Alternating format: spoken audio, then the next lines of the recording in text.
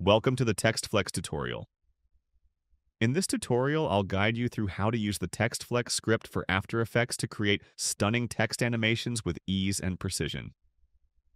Step 1. Select your text layer.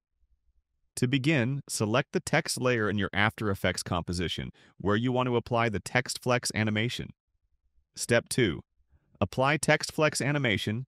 Once your text layer is selected, adjust your preferred animation style and text properties in the TextFlex UI panel.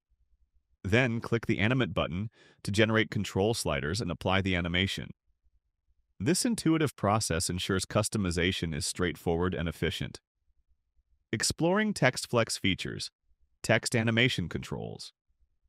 TextFlex adds a text animator to your layer and introduces sliders to control key properties such as delay, frequency, and more.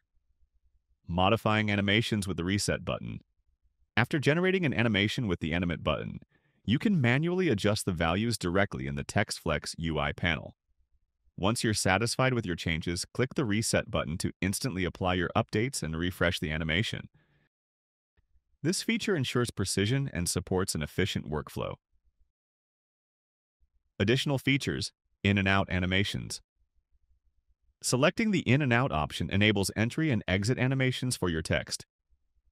The out animation is automatically applied at the end of the text layer, creating seamless transitions for your text elements. Markers for synchronization. By enabling the markers checkbox, you can add markers to your text layer. These markers allow you to synchronize animations with voiceovers or customize timing to match your specific preferences. With TextFlex, you can animate and control your text efficiently, saving time while achieving professional results.